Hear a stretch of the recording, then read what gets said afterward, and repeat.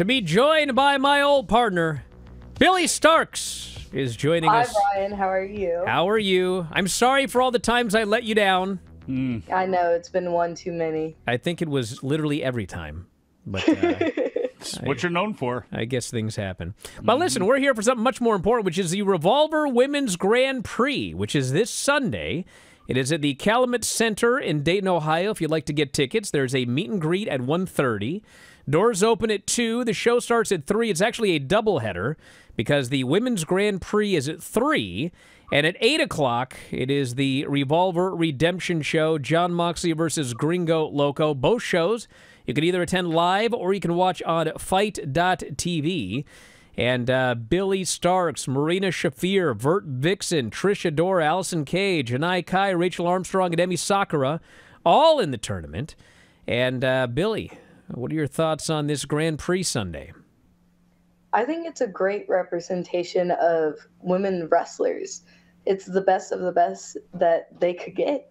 And I'm going to be honest, I see my biggest competition being Shafir coming with her background, but this is my place. This is Revolver. I've been here way longer than she has, and I know I run the show.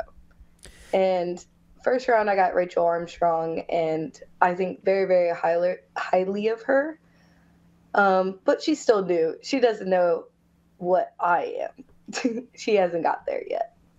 You know, you mentioned that you'd been around for a long time, and uh, for those that don't uh, don't know, uh, you just graduated uh, a few months ago, correct? Yeah, I was class of 2023. Anyone else just feel hideously old? The class of 2023. But uh, you know, I got two questions on that. First off, I think when I when I first met you, it was like two years ago, and you'd been wrestling for four years. Was that correct? Have you been doing this now six years, or what are we talking about? So I started at 13 and I am now 18 and I'm turning 19 in December. So, yeah, about six years now. Six years. So you're you're a female Nick Wayne, basically. Yes. is what's happening here. Now Nick is, uh, you know, he graduated. He got his contract when he was 16. He signed with with AEW, so he's doing that full time. What uh, are are you are you going to college now, or are you also now doing this full time? Um, I'm doing wrestling full time and I'm also going to college. I'm going to college online. Um, got a really great scholarship and everything's paid for, so might as well go. So, so I, I, I didn't know exactly. Like for Nick, you know, and you as well. Like in high school, it's like you have to go to high school five days a week, and then you're out wrestling on the weekends.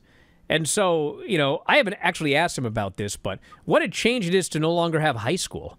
It's like, what is this kid doing all the time? Like he's got the one or two days a week. very strange. Yeah, like is it weird for you to have all this free time now?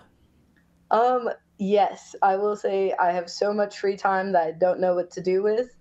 Um, but I also like having more freedom and I'm able to like go have more fun basically. I don't have a such strict schedule that I did when I was doing school, a real job, and wrestling. So, what is your your status with uh, AEW Ring of Honor? Are you are you on a per date? Are you signed? I know you're doing a lot of stuff with the Ring of Honor, and you were at uh, WrestleDream on Sunday. Um, I'm a signed talent at AEW. Wow, how was WrestleDream? Oh, it was amazing. I'm glad I got to be with my mentor, the Breadman, and Keith Lee. Had a really great team, and uh, I honestly was really, really excited to be facing our opponent. I got to see Lee Moriarty across the ring again, um, who's a really good friend of mine. So it was exciting to see him get beat up. So you had a match at Defy uh, a few months ago, and it was with Vert Vixen, by the way, who was in this tournament, and uh, and I was there, and man, I thought this match was awesome. And then when it was over, you mentioned that you guys had actually never been in the ring before. That was the first time that you had ever wrestled each other. And you guys looked like you'd wrestled multiple times. So tell us a little bit about that match. Have you wrestled her since? Uh, presumably in this tournament, it could happen again. But uh, what are your thoughts on Vert Vixen? Um, I think Vert is an amazing wrestler. We still have not gotten the step in the ring with each other again. It's been one match and it was only at Defy. So if you ever want to see it, go check out Defy. Um, but me and Vert, I feel like just pair very, very well together. Um, I think we're both very, very ambitious and want to succeed at the end of the day. Um, but I think she should be so much further in wrestling. She deserves so much more. Uh, but I don't think this tournament is going to be that more. You've had probably more experience uh, than people three times your age with some of the things and some of the places you've been able to go. You wrestled already this year. You wrestled Yamashita twice, including once in England. You wrestled Hayashida. I mean, you've had such these great opportunities to wrestle some of the best women in the world. What have you been able to glean from some of these experiences with somebody like an Utami or somebody like a Miyu, the, crossing paths with them? I think you learn from everybody you wrestle. Everybody has their own little things that they do. Um, and being able to wrestle Joshi women and being able to tour Japan, I learned a lot about that style and that way of wrestling. Um, but even here in the States, you wrestle different girls every single weekend and you learn something new because every wrestler is different. Um, but I feel like from my experiences, it just helps you grow from a wrestler. The more you wrestle others, you learn how others wrestle, and the more likely you are to respond to that. Do you do you like the travel as far as going to Japan? And obviously, it had it may have been a thrill for you. I'm not sure how much Japanese wrestling that you watched growing up or anything like that. But how was the travel for you going out there and going to these places? Um, I have like a love hate relationship with travel. I love traveling to get to the places and see amazing things. Uh, but being on an airplane sometimes is not fun. Uh, sometimes the person in the middle seat sucks and has their elbows all the way out, stabbing you in the oh, side for the worst. yeah, I've had some rough uh, airplane rides, but for the most part, I think it's worth it in the end because I get to go see amazing things. You mentioned uh, Japan and the bread man, Satoshi Kojima. And uh, for those of you that have been around for a while, Satoshi Kojima won the Triple Crown when Billie was one. Come on now. Yeah, we That's talked what happened. about it. Yeah, Adam and I talked about it on a podcast. Believe it or not, That's one before they were podcasts. Yes, this is crazy. Now, looking at all of the other names in this tournament, I mean, uh, you know, we mentioned Vert, and uh, you've had one match with her. Uh, is there, I guess, who have you wrestled before? Who have you not? And uh, aside from Marina, like, who are you looking forward to? So I've wrestled Emi, I've wrestled Vert, I've wrestled Rachel, I've wrestled Trish. I think I've almost wrestled everybody in this tournament. um, but I feel like any of the matchups I'd be put into would be so much fun because all these women are phenomenal wrestlers. The thing is, I just think I'm better than all of them. well, I guess that's the point of this tournament now, isn't it? We're going to find Damn out. Right. now, you mentioned starting at 13. How did that happen? Um, just being a huge wrestling fan, and I got really, really lucky that I ran into Madman Pondo because I was doing wrestling photography at a girl fight show. And he introduced me to Too Tough Tony, who ran a training school, and then I started training. You know, years. You actually were probably zero when this happened. I uh, interviewed Low Ki. and at the time, I really didn't know a whole lot about uh, homicide. This, this was literally like 20 years ago. And, uh, you know, Low Ki was great, and I, I was like, who trained you? and he goes, uh, Homicide. And I was like, what?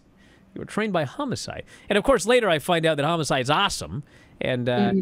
but you know, you you mentioned Madman Pondo. That that would not have been who I would have thought when asking you how was your first break into wrestling training and such. Yeah, it was good old Madman Pondo. Uh, I call him Pinto Bean now, and he's the one who takes care of us when we're in Indiana will come hang out. He always wants to go see horror movies with everybody. I'm stunned. Um, he's just a sweet old man that's all beat up now.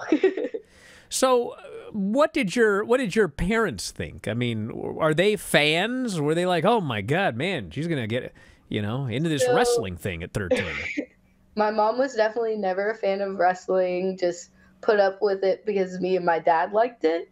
Um, but my dad was the whole reason I was talking to Pondo or would ever meet him because he loved wrestling and was is Mouse the wrestling photographer. So I feel like my into most wrestling places was Mouse.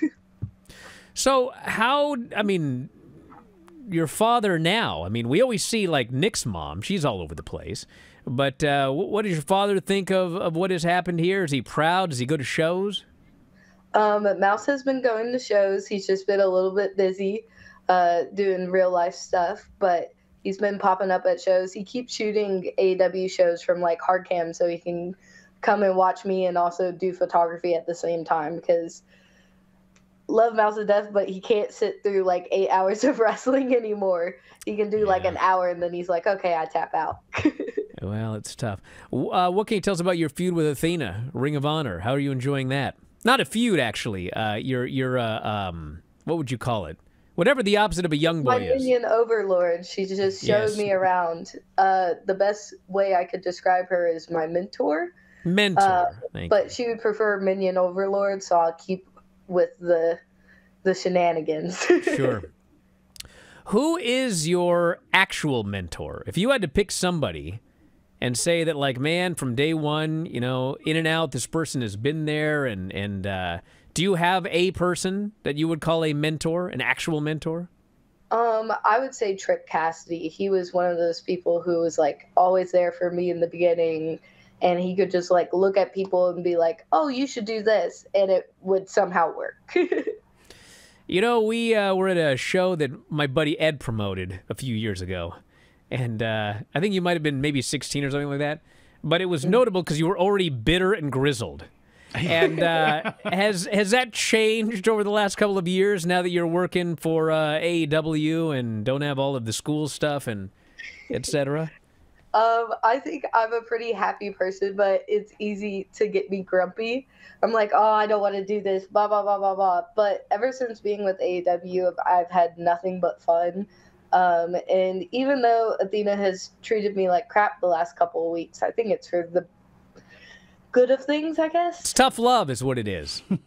Yeah, I guess you Tough can say that. What uh, what has really changed for you in terms of obviously as a fan? You know, when you're a fan, especially a, a young fan, you know, you see wrestling a certain way, and then you get into wrestling, and then you're 16 and bitter because it's very different than what you thought.